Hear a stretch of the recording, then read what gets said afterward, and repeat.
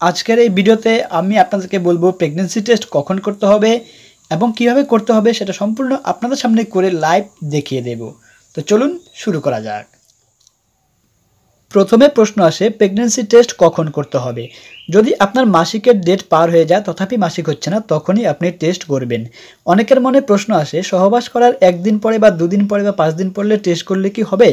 না বন্ধুরা যদি আপনি সহবাস করার পাঁচ দিন পরেও করেন, তাহলেও কিন্তু আপনার প্রেগনেন্সি টেস্টটি ইনভ্যালিড হয়ে যাবে অথবা নেগেটিভ দেখাবে, আপনি সঠিক রেজাল্ট পাবেন না।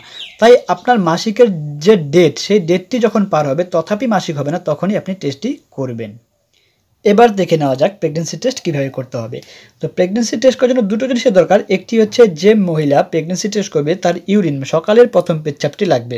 এমন নয় যে সকালটি লাগবে, যে কোনো টাইমের হলে হবে, কিন্তু সকালেরটি হলেই সব থেকে ভালো হয়। কেননা এই সময়তে এইচসিজি নামে একটি হরমোন মানে হিউম্যান কোরিওমিক গোনাডোট্রপিন নামে একটি হরমোন সব থেকে বেশি পরিমাণে পাওয়া গিয়ে থাকে।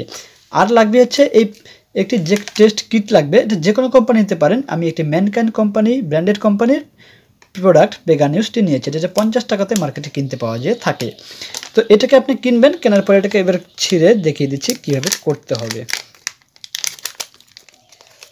ছিলেন ছিলে পরে এখানে দু তিনটা জিনিসই পাওয়া গিয়ে থাকে। এরকম একটা দানার প্যাকেট পাওয়া যাবে, এটাকে ফেলে দিন, এটা কোনো কাজে লাগবে না। তারপরে আসবে এরকম একটা টেস্টের কিট আসবে, বন্ধুরা আপনারা দেখতে পাচ্ছেন টেস্ট কিট আসবে, আর আসবে একটি ডপার এইরকম একটি ডপার আর এই টেস্ট কিটটাই আপনার লাগবে। তো দেখুন এভাবে কীভাবে করতে হবে। এই ডপার দিয়ে আপনি ইউরিনটি এভাবে ডপার দিয়ে উঠিয়ে নিন।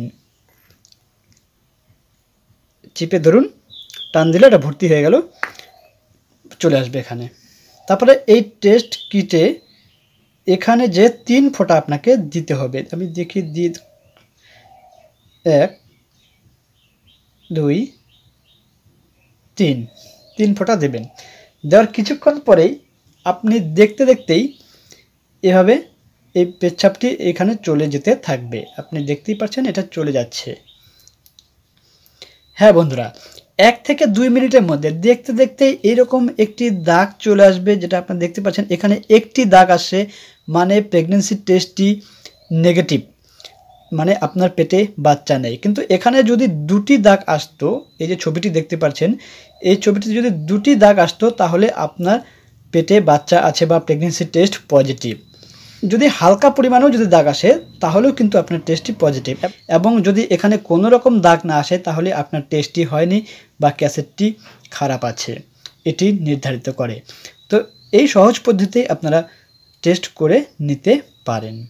আশা করি এই ভিডিওটি আপনাদেরকে ভালো লেগেছে। যদি ভালো লেগে থাকে, ভিডিওতে অবশ্যই একটি লাইক দেবেন এবং স্বাস্থ্য সম্পর্কে যে কোনো সমাধান পেতে চ্যানেলটিকে সাবস্ক্রাইব করে বেলাইকনটিকে প্রেস করে রাখবেন। আজকের মতো এই পর্যন্তই। ধন্যবাদ।